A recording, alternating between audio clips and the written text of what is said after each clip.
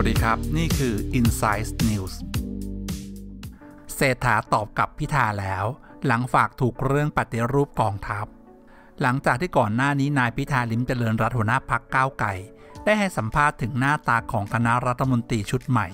หรือคอรมอเศรษฐาหนึ่งว่า ก็ขอให้กำลังใจกับรัฐบาลชุดใหม่ด้วย แต่ยังมีความกังวลใจหลายเรื่อง ซึ่งเป็นสิ่งที่พักก้าวไก่จะทำ ทั้งการกระจายอำนาจ ความเท่าเทียม รวมไปถึงการปฏิรูปกองทัพที่เคยทำมา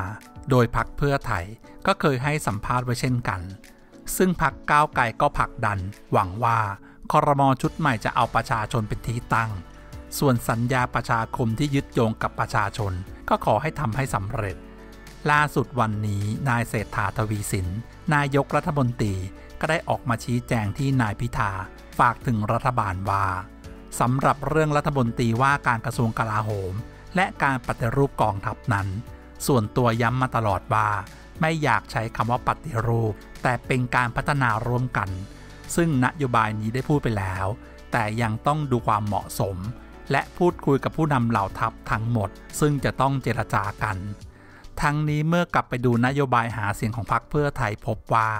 พรรคเพื่อไทยมีนโยบายปฏิรูปกองทัพ เป็นทหารมืออาชีพ ยกเลิกการเกณฑ์ทหาร ลดขนาดกองทัพ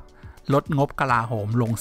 10%ป้องกันการแทรกแซงทางการเมือง ใช้การเกณฑ์ทหารเป็นไปโดยสมัครใจผ่านการสมัครทหารแบบออนไลน์ โดยไม่กำหนดเป้าหมายการรับ ให้ทหารเป็นทหารมืออาชีพ และปรับลดงบประมาณกลาโหมลง